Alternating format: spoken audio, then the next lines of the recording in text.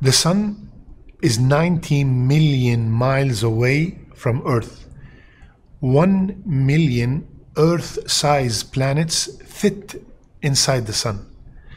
1.3 trillion suns fit in our Milky Way.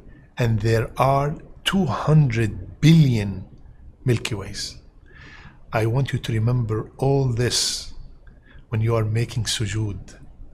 I want you to remember all this when you are raising your hands and making dua.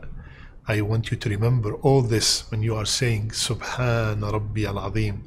The one you are asking owns all this and controls all this with perfection. Yalla ya shabab.